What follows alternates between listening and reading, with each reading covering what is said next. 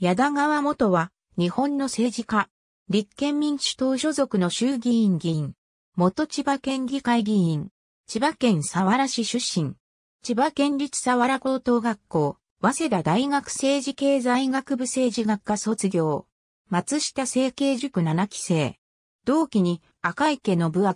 清水隼人、上風秀夫、山井和則がいる。丸紅勤務、米会議員政策スタッフ、山村慎次郎衆議院議員秘書を務め、1993年に千葉県議会議員補欠選挙に当選。県議は4期務めた。県議時代は、新政党、新進党を経て、同党の回答後は自由民主党に所属した。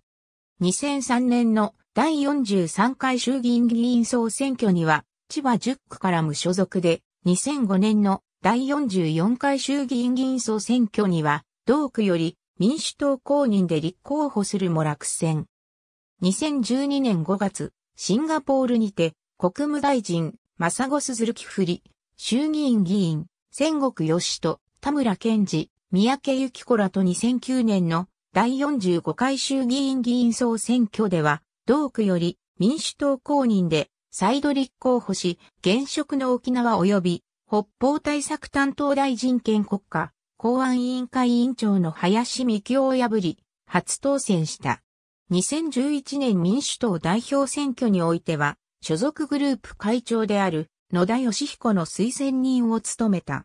2012年の第46回衆議院議員総選挙では、前回下した林に敗れ、議席を失った。2014年の第47回衆議院議員総選挙でも、再び林に敗れ、比例復活も及ばなかった。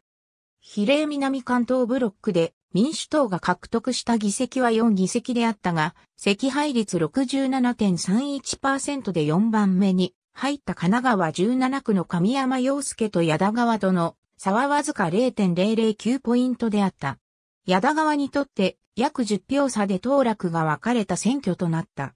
2017年の第48回衆議院議員総選挙では希望の党公認候補として立候補するも3度目の落選。比例復活も及ばなかった。